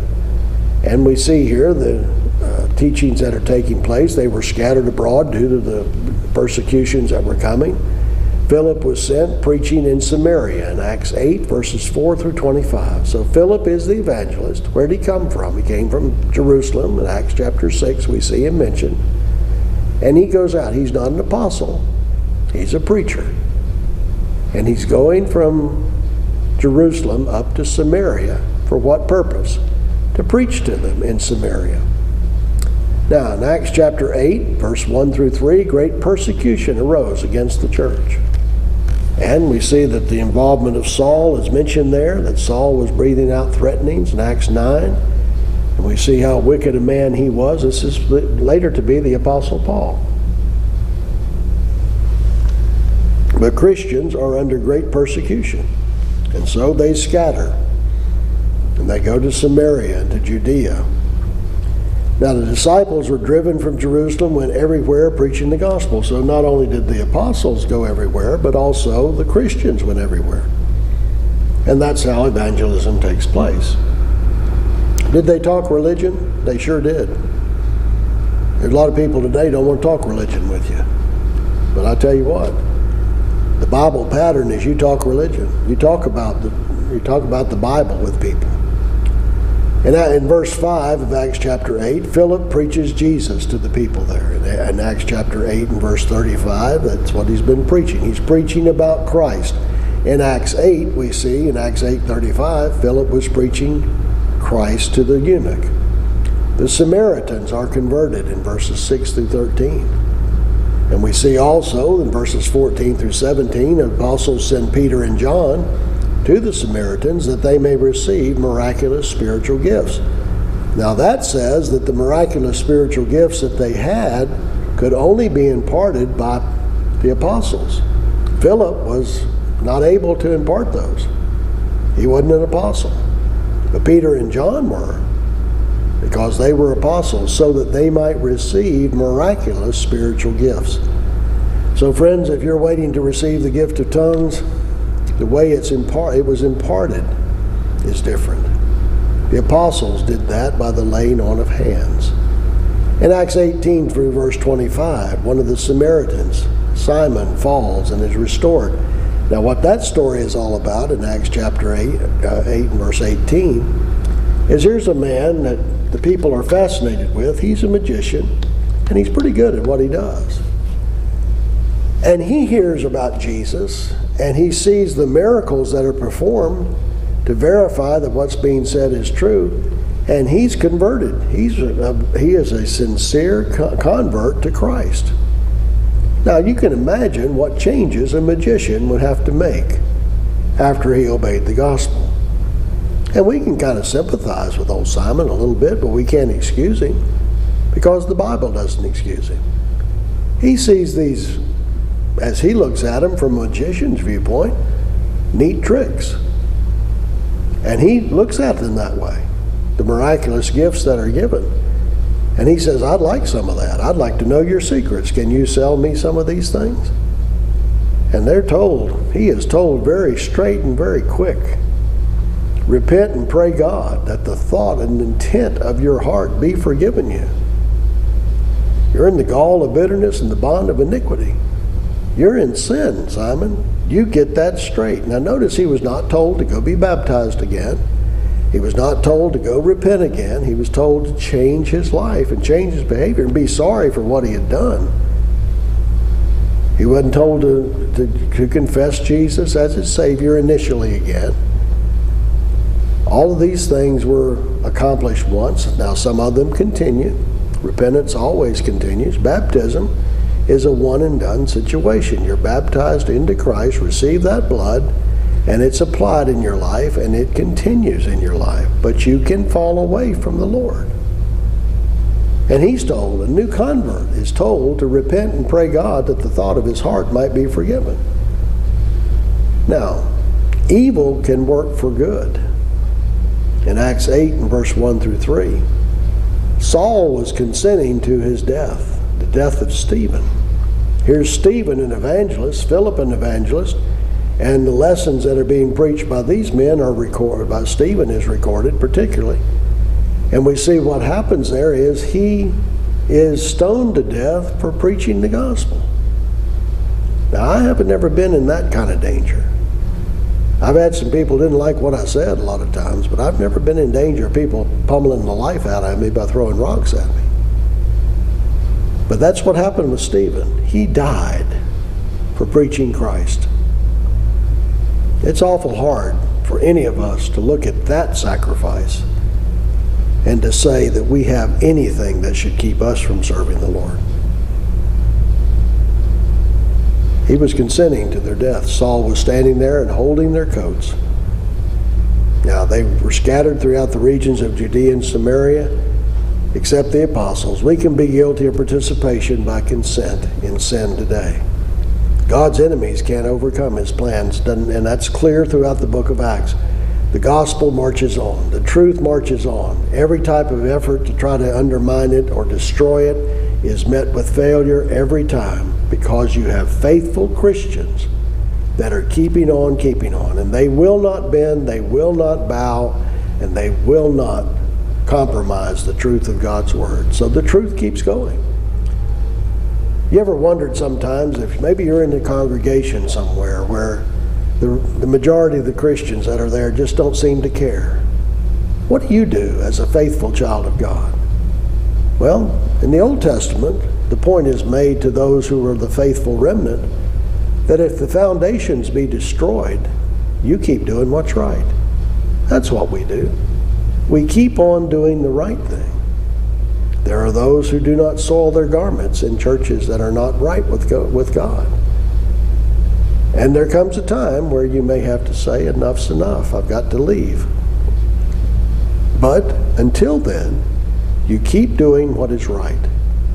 You keep on being faithful. And you don't let what other people do or don't do determine whether you're going to be faithful to the Lord or not.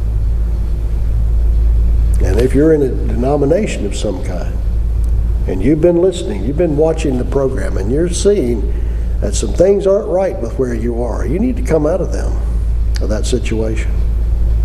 You need to change and get out of that because you're not going to get any stronger, spiritually speaking, by staying in error come out.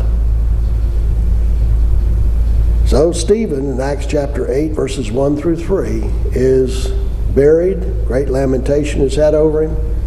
And Saul goes on making havoc of the churches. Is there honor in the death of the godly? Did Stephen lose the battle? No, Stephen was the first Christian martyr. And yes, he lost his life for preaching the gospel, but Jesus said, Blessed are you if that happens. If you're persecuted for righteousness' sake, blessed are you. So you go out tomorrow and somebody hammers you about being spiritual, just say thank you. Appreciate that. And they'll look at you like you're crazy. You say, No, I really mean that. Thank you.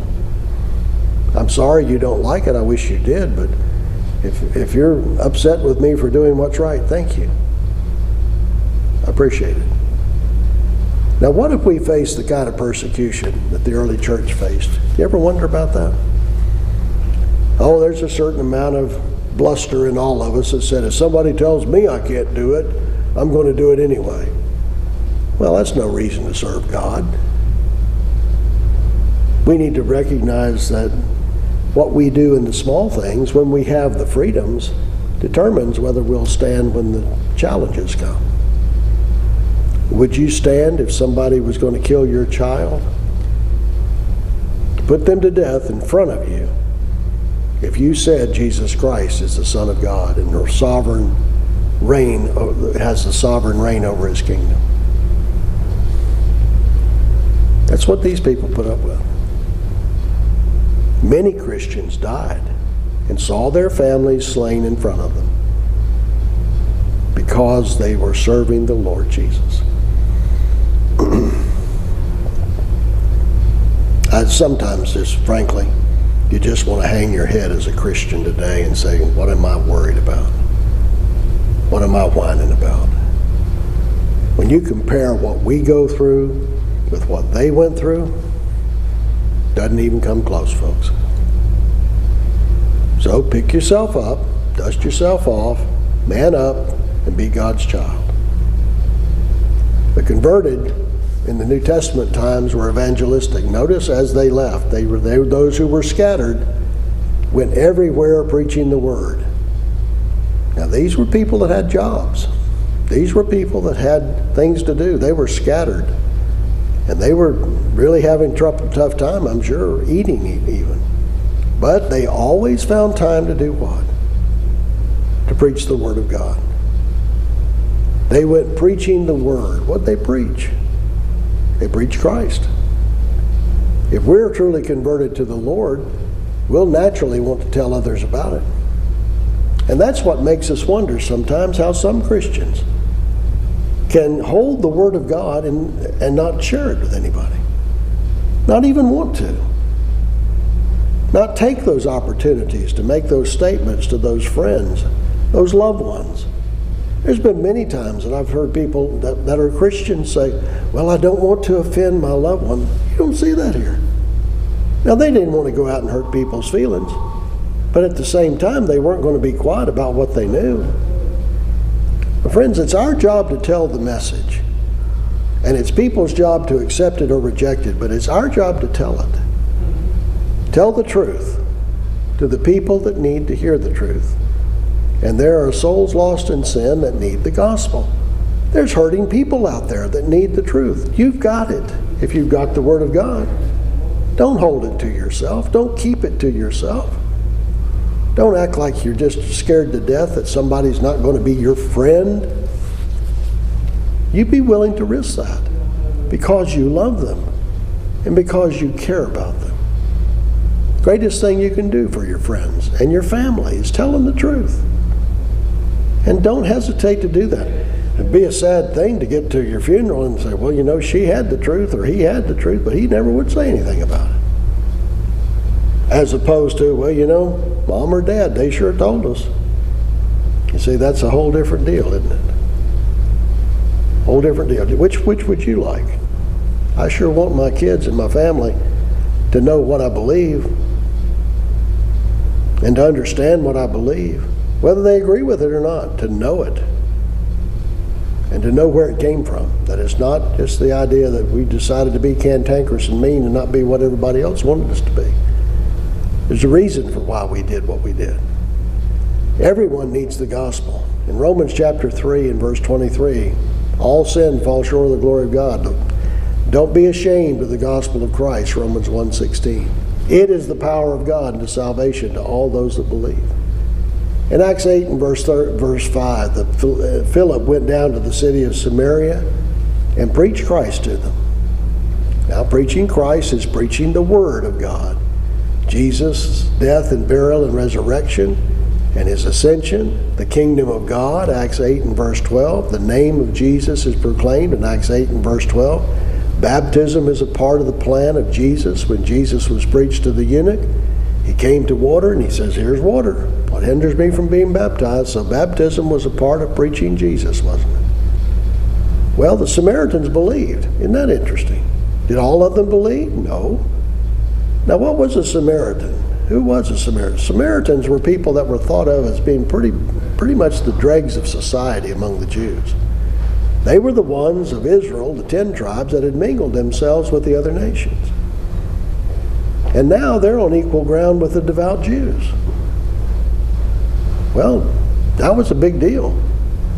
For the Jews to be worshiping with the Samaritans, my goodness, that was a major deal. Big time bigotry was there. The Samaritans were lower than a dog to the Jew. They heeded the message. They heard and they saw. They believed as the, as the words were preached to them. They were baptized. Simon believed when he was baptized. Kingdom of God preached, the name of Jesus preached, baptism preached to them, and they believed it. These were not ignorant people again. Acts 8 6, the multitudes with one accord heeded the things spoken by Philip, hearing and seeing the miracles that he did. Hearing, well, who is this guy? Well, he's verified what he's saying is true by the miracles he's done. Okay, I'll do what he said, because that's from God. You see how the miracles and the Word work together? The need for, for miraculous confirmation of the Word of God today is gone because it's already been confirmed by those miracles. And we're in a stage of advancement in the gospel today to where we have the whole mystery revealed.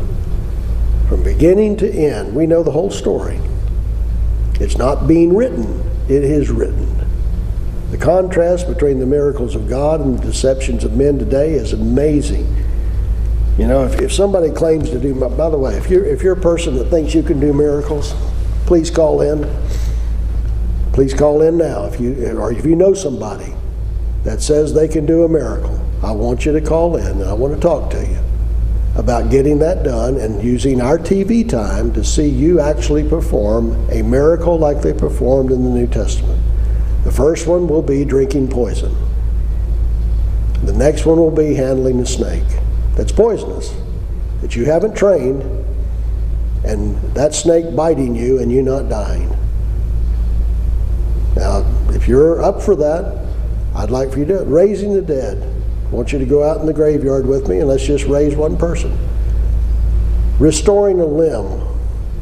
Healing somebody that's crippled from polio. Okay? I want you to do that. Because these are New Testament miracles, and they never were in question of, of what was being done. New Testament miracles have been done. I believe in every one of them. They did their job. They confirmed the word, and I believe the word because of the confirmation of the miracles that were there. But I don't need a miracle continuing all the time to believe God's word. We've got it. It's the inspired word of God. Well, the miracles serve to confirm the words that were spoken. The means of passing them on now is not available. We already talked about that. Genuine miracles could not be denied, even by those who didn't believe in them. Okay? Healing, healing somebody's blindness, that would be interesting. Somebody can do that. Call in. Please do. And usually when we bring this up, the phone lines stay silent. But maybe you're an exception, and we hope you are. If you believe that can be done, back it up and be ready to come perform those things. We'll give you an audience. Let it be done. All right. The miracles did their appointed purpose, and they are done. Um, in Acts chapter 8 and verse 20, this is when Peter said to Simon, when he tried to buy the gift of the Holy Spirit, he said, I want to tell you something. You're in danger of perishing. Your heart's not right with God. You're poisoned with bitterness and bound by iniquity. That's pretty serious. These are the sins that was laid to his charge, and they were told to repent and pray. 1 John 1 9 and 10 The Lord will forgive the prayers of the righteous when they ask to be forgiven for what they've done. Now, the Samaritans were converted. They continued. When they had testified and preached the word of the Lord, they returned to Jerusalem, preaching the gospel in many villages of the Samaritans. So, again, the conversions in the book of Acts that we'll be continuing to, to study, these people were converted. They didn't just change their actions merely. They've changed their convictions, they changed their allegiances, they changed their thinking, they changed their will, they changed their commitment, they changed their relationship with God through a knowledge of the truth. And it was the truth that convicted them and converted them. True conversion, friends, again, let's remember this, results in a change in who we are, how we talk, where we go, what we do, how we dress, the whole core of our behavior. And we prove what is that good and acceptable and perfect will of God by the way we live. And in order to do that, you've got to be all in, don't you? Now, to believe and do what the Samaritans did will make us the same things that made them. They were Christians. They believed the Word of God. They heeded it. They believed that Jesus was the Christ. They were obedient to Christ in baptism, became citizens in the kingdom of the Lord. When one stumbled, he was told to repent and pray, and that's what he did. And he was right with God. Well, friends, what about you and I today? And notice after they did these initial things, they continued steadfastly, Acts 2, in being what God called them to be, and that's separate. Well, we want to thank you for tuning in tonight. You've been very gracious to allow us in your home. And thank you again for being with us.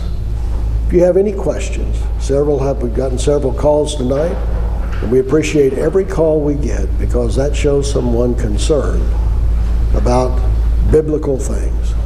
Your question may have nothing to do with what we're studying on the program, but we do thank you for your concern for the things that are spiritual. And thank you so much for your support of the program by your viewing it. We don't want you to send us any money, but we do invite you to attend at the Newton Church of Christ at 656 St. James Church Road in Newton. Or if you're listening from somewhere else, you find the nearest local church of Christ that is truly the Church of Christ, and you don't just take what's on the sign, you check them out. Make sure they abide by the pattern of the New Testament, and you worship there. Regular assembly times are each Sunday at Newton at 9:30, and then worship at 11. Then Wednesday nights at 7 o'clock, and you be a part of them. Go, go, be, be with them. The Word and Sword is brought to you by the Newton Church of Christ, fully supported by the Newton Church of Christ. And we don't want your money. The church, Newton, does not want any amount of money that you might feel compelled to give. We just want you to study the Bible and do what it says and be converted to Christ. You can contact us by email by going to contact at wordandsword.com, and we're going to put this up on the, on the charts here. The Word and Sword brought to you by Newton Church of Christ. Email contact at wordandsword.com, or you can call the, chur- the building at 828 465 3009, or you can just write them, write them a letter to them. And uh, P.O. Box 893, Newton, North Carolina at 28658 www.wordandsword.com. I don't know of much better site on the internet than this one. And so you need to point, you need to get, get on this site because it will give you all kinds of information that is truth. And you check it out. And if you find anything on there that is not true, you let it be known. And they'll change it. They'll pull it down. They'll change it. Well, tune in again on July the 16th at 8 p.m. We continue our study on conversions in the book of Acts and looking at seeing what's there. In the meantime, I challenge you to do this as we close out. Read the book of Acts and look and see and write down what the people did in the book of Acts to be saved. And then you put it all down and then you do it. And you'll find yourself in relationship to the Lord scripturally, like the Bible says. Thank you again for your time tonight. You've been very gracious, and we are honored that you have chosen to spend your time with us this evening. Thank you again for that. And we admonish you and we encourage you to search the scriptures, for in them you will find eternal life. Thank you again and good evening.